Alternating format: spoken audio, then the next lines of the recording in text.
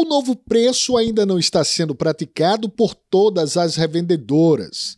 No acumulado de 2020, o produto chega a uma variação média de 21,9%, ou R$ 6,08 por botijão de 13 quilos. O reajuste repassado pela Petrobras às revendedoras eleva o preço nas distribuidoras, atingindo a média nacional de R$ 33,89 por botijão de 13 quilos. Com estoque comprado antes do aumento, esse comerciante ainda deve seguir com o valor antigo até comprar um novo estoque. Seu Walter trabalha há 15 anos no ramo e revela que esse é o décimo aumento no GLP só este ano, algo que desagrada não apenas aos consumidores. Infelizmente, a população tem que entender que esse aumento quem dá não é as revendas, quem está dando é o governo federal, é a Petrobras. E a gente só faz só repassar o aumento para o consumidor.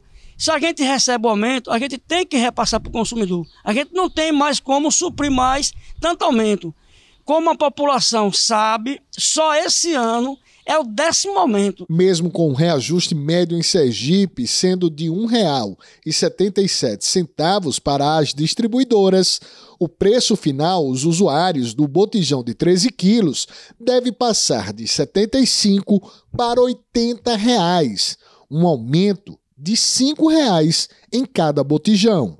Seu Walter lembra ainda que os valores, assim como os produtos, podem variar de acordo com o tipo e marca do GLP. Hoje a média do gás é R$ 75,00. Com esse, com esse décimo aumento, ele vai para R$ 80,00.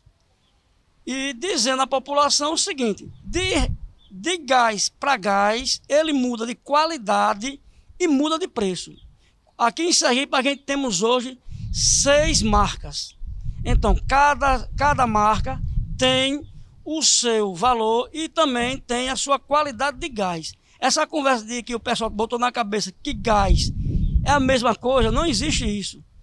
Cada, cada distribuidora ela vem com o seu tipo de gás. A Petrobras passa para distribuidora um gás só, mas quando chega na, na, na distribuidora, cada distribuidora tem o seu tipo de gás.